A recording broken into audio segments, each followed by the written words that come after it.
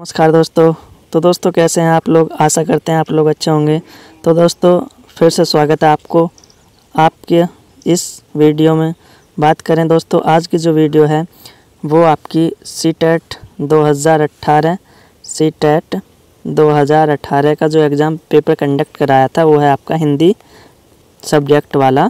Hindi subject वाला question paper और ये जो है लैंग्वेज फ़र्स्ट में जो चुना था, वो है आपका, जो लैंग्वेज फ़र्स्ट में चुना था हिंदी, वो एग्ज़ाम पेपर है। और देखिए जो लेवल है ये लेवल की बात करें लेवल सेकंड का ये है, यानी एग्ज़ाम जो सेकंड हुआ था, कक्षा छः से आठ तक का जो होता, उसका ये पेपर है। तो दोस्तों, इसमें देखेंगे किस तरह के क्वेश्चन आए थे, और इनके क्वेश्चन आंसर ऑप्शंस पर थोड़ा डिस्कशन करते हुए वीडियो में आगे बढ़ते चलेंगे। तो दोस्तों, बने रहें वीडियो में। तो सबसे पहले देखिए, यहाँ लिखा है जो क्वेश्चन है 91 से लेकर 120 तक, यानी इक्यानवे से 120 तक ये क्वेश्चन आंसर हैं। तो देखिए, इसमें दोस्तों मैं आपको बता दें कि इसमें होता क्या है सी टेट के पेपर में, कि जैसे कि यदि यूपी टेट एच टेट या अदर टेट होता, उसमें तो ज़्यादातर क्या होते हैं, हिंदी में व्याकरणिक पेपर आते हैं, यानी ग्रामर ग्रामकर पोर्शन से ग्रामेटिक पोर्शन से आते हैं बट इसमें क्या होता है कि इसमें ज़्यादातर आते हैं आपका गद्यांश, पद्यांश और ज़्यादातर पेडागोजी से रिलेटेड क्वेश्चन आते हैं। तो दोस्तों, सबसे पहले 91 से लेके जो है यहाँ पे लिखा है 91 से 98 तक आपको ये गद्यांश पढ़ना है ये वाला और उसके अनुसार क्वेश्चन के आंसर देने हैं। तो सबसे पहले गद्यांश को पढ़ लेते हैं। तो गद्यांश जैसे दिख रहा है दोस्तों, आपका हिस्ट्री से रिलेटेड है, बात कर लेते हैं थोड़ा गद्यांश पढ़कर और गद्यांश के अनुसार ही हमें क्वेश्चन आंसर देने होंगे। लिखा है, भारत पंद्रह अगस्त उन्नीस सौ सैंतालीस को आज़ाद हुआ। इस आज़ादी के लिए पूरे देश की जनता ने एक लंबे और मुश्किल लंबा और मुश्किल संघर्ष चलाया था। इस संघर्ष में समाज के बहुत सारे तबकों की हिस्सेदारी थी। तरह तरह की पृष्ठभूमि के लोगों ने इसमें भाग लिया था। वे स्वतंत्रता, समानता तथा निर्णय प्रक्रिया में हिस्सेदारी के विचारों से प्रेरित थे। अनौपनिवेशक शासन के तहत लोग ब्रिटिश सरकार से भयभीत रहते थे। वे सरकार के बहुत सारे फैसले से असहमत थे, लेकिन अगर वे इन फैसलों की आलोचना करते तो उन्हें भारी खतरों का सामना करना पड़ता था। स्वतंत्रता आंदोलन ने यह स्थिति बदल डाली। राष्ट्रवादी खुलेआम ब्रिटिश सरकार की आलोचना करने लगे और अपनी मांगे पेश करने लगे। अट्ठारह में क्या हुआ? अट्ठारह में ही भारतीय राष्ट्रीय कांग्रेस ने मांग की कि विधायिका में निर्वाचित सदस्य होने चाहिए।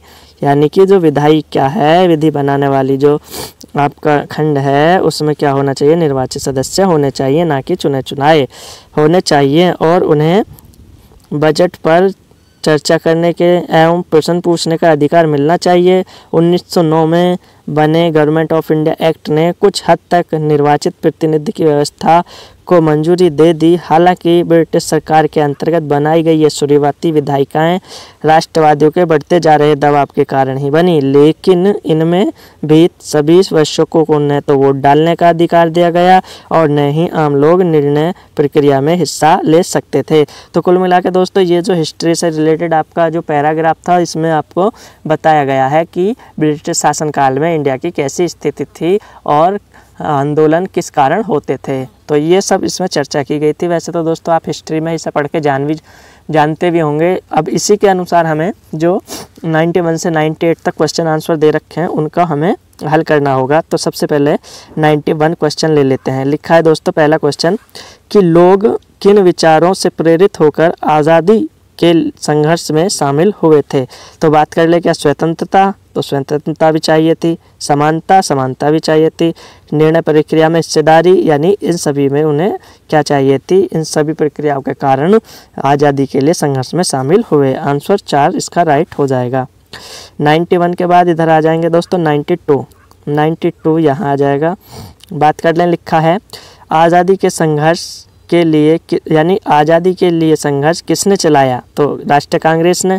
तो खाली राष्ट्रीय कांग्रेस ने तो चलाया नहीं था दोस्तों। देश की जनता ने, ये आपका सही लग रहा है, ब्रिटिश सरकार ने तो ये बिल्कुल नहीं। सदस्यों ने, पर इसमें देखिए सबसे सूटेबल जनता ने, देश की जनता ने। इसके बाद नाइन्टी बात कर लेते हैं। निम्नलिखित में से लोकतांत्रिक व्यवस्था का मूल्य कौन सा है? समानता का, स्वतंत्रता का, विचारों की अभिव्यक्ति का या उपयुक्त सभी?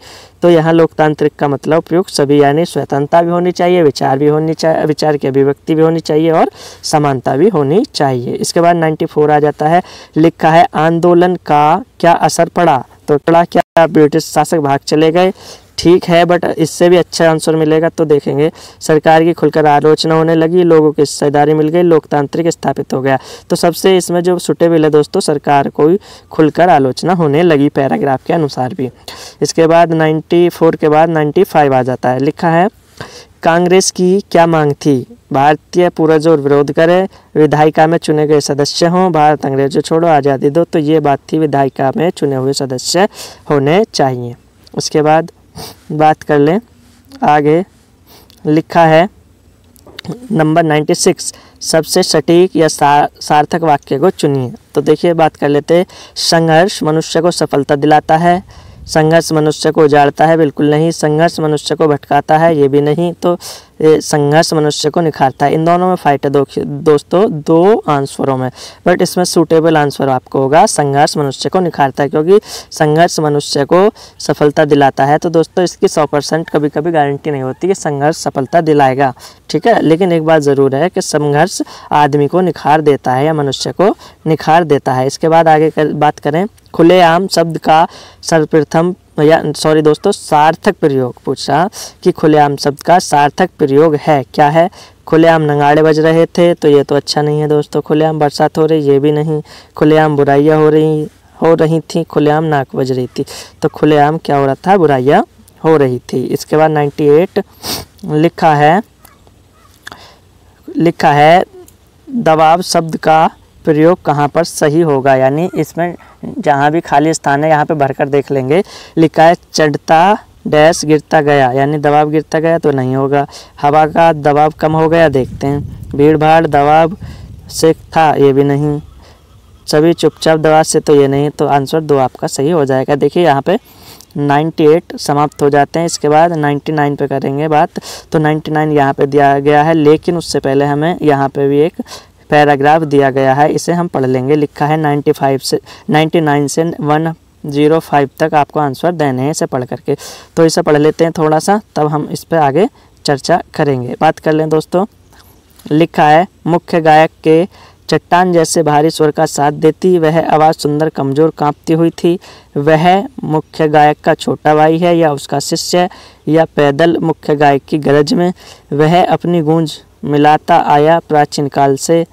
गायक जब अंतरे की जटिल तानों के जंगल में खोज चुका होता है, खो चुका होता है या या अपने ही सरगम को लांग कर चला जाता है, भटकता हुआ एक अनहद में, तब संगीत संगतकार ही स्थायी स्थायी को संभालता है। जैसे समेटता हो मुख्य गायक का पीछे छूटा हुआ सामान, जैसे याद दिलाता हो उसका बचपन, जब वह नौसुकिया था तार सप्त में जब बैठने लगता है, उसका गला प्रेरणा साथ छोड़ती हुई अत हुआ होता। आवाज़ से राख जैसा कुछ गिरता हुआ, तभी मुख्य गायक, तभी मुख्य गायक को ढांढस बनाता कहीं से चला आता है। संगतकार का स्वर कभी कभी वह यूँ ही देता है। उसका साथ यह बताने के लिए कि, यह बताने के लिए नहीं, और वह फिर से गाया जा सकता है, गाया जा चुका राग। और उसकी आवाज़ में एक हिचक साफ़ सुनाई देती है, या स्वर को ऊँचा न उठाने की कोशिश है, उसे विफलता नहीं, उसे विफलता नहीं, उसकी मनुष्यता समझा जाना चाहिए। तो दोस्तों, ये पैराग्राफ है, इसके अनुसार हमें आंसर छांटने होंगे। तो 99 ले लेते हैं।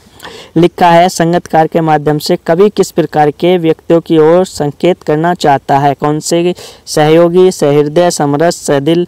तो इसमें करेंगे दोस्तों, सहयोगी की तरफ़। सहयोगी के तरफ़। यहाँ पे हंड्रेड नंबर आ जाता है, चट्टान जैसा भारी स्वर से आश्चर्य है। तो चट्टान जैसी भारी अवश्य, स्वर से आश्चर्य है, गंभीर आवाज़ से गंभीर आवाज़ से आगे बात कर लें एक सौ एक। लिखा है दोस्तों, गायक जब अंतरे की जटिल तानों के जंगल में खो चुका होता है के मायने, यानी अंतरे को गाते हुए वह क्या है? तो इसका मतलब है कि किसी भी भजन में लीन हो जाना, क्या हो जाना? लीन हो जाना। आगे बात करें, लिखा है अनहद शब्द में, अनहद शब्द में क्या है? ए उपसर्ग है, नहीं है। देव प्रत्यय है, नहीं है। अनुपसर्ग है है, हद प्रत्यय प्रत्यय है। देखिए, अन उपसर्ग है, अन उपसर्ग है। जैसे कि अन को हटा देंगे तो हद रह जाएगा। तो हद शब्द है और अन उपसर्ग है। ये आपका राइट आपका आंसर हो जाएगा तीन। इसके बाद 103 पर देखते हैं। लिखा है, राख जैसा गिरता हुआ का अर्थ है।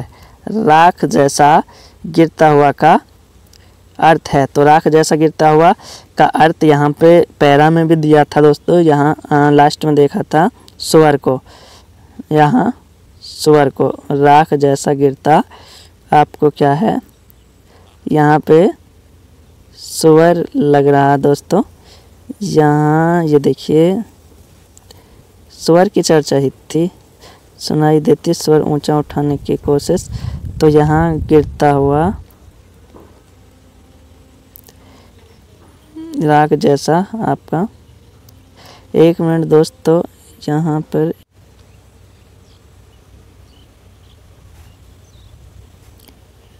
ये हो जाएगा इसका। बुझता हुआ स्वर, बुझता हुआ स्वर।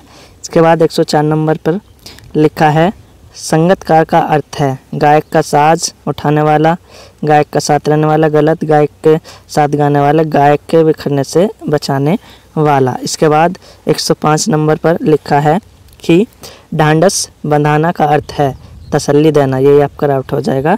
तसल्ली देना। इसके बाद बात करेंगे तो 105 के बाद आ जाएगा 106 106 से 120 तक हमें इस तरह से अपने पढ़ करके उसको आंसर देने हैं। तो बात कर लेते हैं। 106 पर लिखा है दोस्तों। 106 नंबर पर लिखा है कि पढ़ना सीखने के लिए आवश्यक है कि केवल लक्ष्य भाषा सुनने का माहौल मिले, गलत घर की भाषा सुनने बोलने को मिले, ये हो सकता है बट इससे आगे देख लेते हैं। लक्ष्य भाषा की अर्थपूर्ण और रोचक सामग्री सुनने, पढ़ने को मिले, या चार्ट अधिक से अधिक कक्षा में लाएँ तो ये भी नहीं तो इसमें हो जाएगा लक्ष्य भाषा अर्थपूर्ण ज़रूर होनी चाहिए दोस्तों। अर्थपूर्ण और रोचक जहाँ मिलेगा, वही आपका आंसर अच्छा माना जाता है दोस्तों। इसके बाद आगे बात करें। एक सौ सात लिखा है कि भारत ओ सॉरी दोस्तों, भाषा केवल अभिव्यक्ति का माध्यम ही नहीं, बल्कि स्वयं से डैश का माध्यम है। लिखने का, पढ़ने का, बातचीत करने का, सुनने का। तो बातचीत करने में सुनना बोलना सब आ जाएगा। देखिए दोस्तों, सुनना बोलना सब आ जाएगा, इसलिए बातचीत आपका राइट हो जाएगा। इसके बाद बात कर लेते हैं, लिखा है, लड़के होकर रोते हो, यह कथन क्या दर्शाता है? या ये कथन क्या कहना चला चाहता है? बात कर लें, जैसे कि भाषा को बच्चों की दृष्टों में पढ़ने के लिए बाध्य करना नहीं भाषा को अध्यापक की दृष्टि से पढ़ने के लिए बाध्य करना नहीं भाषा को जेंडर दृष्टि से पढ़ने के लिए बाध्य करना यही आपका हो जाएगा। क्योंकि दोस्तों यहाँ जेंडर की बात क्यों की गई है? क्योंकि यहाँ कहा गया कि लड़के होकर रोते हो इसका मतलब ये था लड़के होकर लड़के नहीं रोते बल्कि लड़कियाँ रो, रोती हैं इसलिए यहाँ जेंडर की बात हुई है। इसके बाद आगे बात करें एक सात के बाद आपका दोस्तों आ जाता है एक सौ सात के आठ हो गया इसके बाद एक सौ नौ। एक सौ नौ पे बात करें लिखा है, कहानी के संदर्भ में कौन सा कथन उपयुक्त लगता है? बात करें, कहानी में संवाद होना चाहिए, होना तो चाहिए, बट इससे भी ऑप्शन बढ़िया मिलेगा, उसे चुनेंगे। कहानी में शुरुआत होना आवश्यक है, शुरुआत तो होती है इसका ये नहीं होगा। कहानी में शुद्ध भाषा होने का आवश्यक होनी, आवश्यक होती है, यानी शुद्ध भाषा की भी आवश्यकता नहीं होती, क्योंकि कभी कभी हम कहानी जो अपने गाँव की भाषा या क्षेत्रीय भाषा में भी कह देते हैं, दोस्तों। कहानी में कथनायक का होना आवश्यक है, कथनायक का होना आवश्यक है, ये आपका राइट हो जाएगा। इसके बाद आगे करें एक सौ दस नंबर पर। एक सौ दस नंबर पर देखते हैं दोस्तों। लिखा है, एक भाषा के अध्यापक को बच्चे में बच्चे में क्या होना चाहिए या बच्चे के लिए क्या करना चाहिए? भाषा सिद्धांतों की समझ विकसित करने पर बल देना चाहिए। तो बल तो कभी देना नहीं है दोस्तों। अलंकारित भाषा का प्रयोग समझ विकसित करनी चाहिए। अलंकारिक के भी नहीं, यानी दोहे मुहावरे के द्वारा नहीं। विविध संदर्भों में भाषा प्रयोग की क्षमता विकसित करने पर बल देना चाहिए। तो विविध संदर्भों में भाषा प्रयोग जहाँ जहाँ होगी, दोस्तों, वही आपका बेडागोजिकल ऑप्शन सही होता है। तो दोस्तों, बात कर लेंगे नंबर तीन पर। नंबर तीन इसका राइट हो जाएगा। इसके बाद 110 के बाद 111 लिखा है। लिखा है, कोई भाषा किसी भी लिपि में लिखी या पढ़ी जा सकती है। इस कथन की आपकी क्या राय है? यह बिल्कुल संभव नहीं है तो यह हो नहीं सकता। यह कुछ हद तक संभव है देखते हैं। हर भाषा की अपनी लिपि होती है ये भी सही है। भाषा में लिपि के बीच एक सीधा संबंध है ये भी सही है। दोस्तों यहाँ तीनों में फाइट है बट यहाँ पर कुछ हद तक संभव को हम राइट करेंगे। क्यों करेंगे दोस्तों? जैसे कि कोई भाषा है मान के चलें कोई ये कहना चाहता है कोई भाषा क्या दूसरी लिपि में लिखी जा सकती है? तो दो, दोस्तों दूसरी लिपि में कोई भाषा लिखी जाती है। कैसे?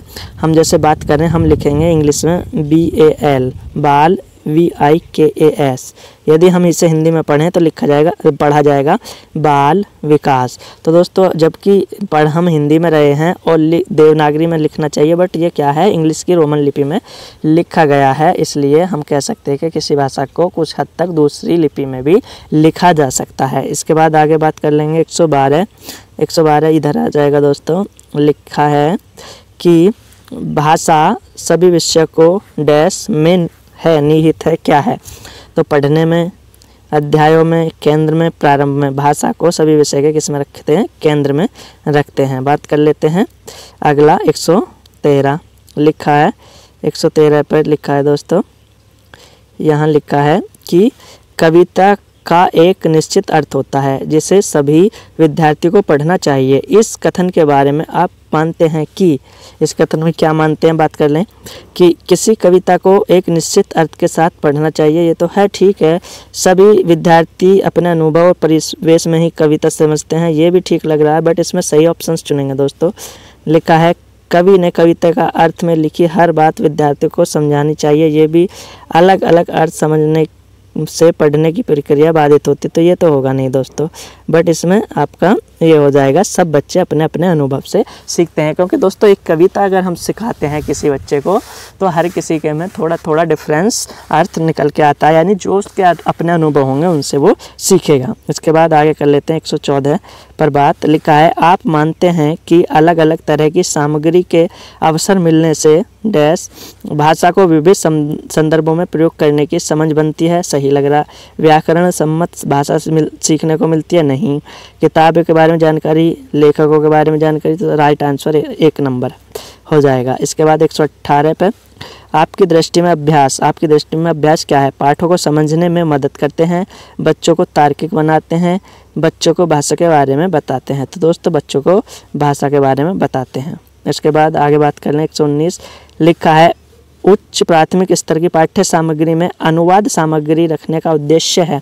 बहुत सी सामग्री से परिचय कराना नहीं, प्रचुर हिंदी साहित्य का न होना नहीं, अन्य भाषाओं को हिंदी में साहित्य पढ़ने के अवसर देना। ये आपका राइट आंसर हो जाएगा। 120 पर बात करें।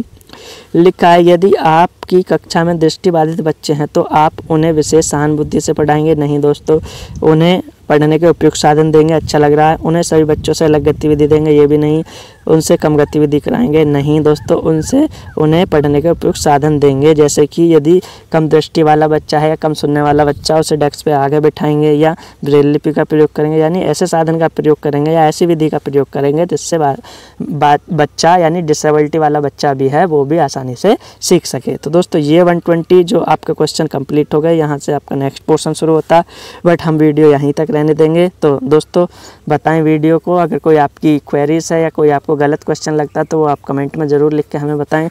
मिलते हैं नेक्स्ट वीडियो में। तब तक के लिए धन्यवाद। दोस्तों, तैयारी आप करते रहें किसी न किसी माध्यम से। जैसा कि आपको पता है कि आपका इक्कीस जुलाई सॉरी इक्कीस जनवरी 2024 को एग्ज़ाम है। तो दोस्तों एन बेस को लेते हुए सबसे पहले तो यदि आप एसएसटी या मैथमेटिक्स या साइंस से आप भरते हैं तो सबसे पहले कक्षा छः से आठ तक की एन का रिविज़न या अध्याय अध्ययन करें उनका और बाद में दोस्तों पैडागोजी के लिए आप कोई बुक ले सकते हैं। दो दोस्तों मिलते हैं नेक्स्ट वीडियो में, तब तक के लिए धन्यवाद। तो धन्यवाद दोस्तों, मिलते हैं।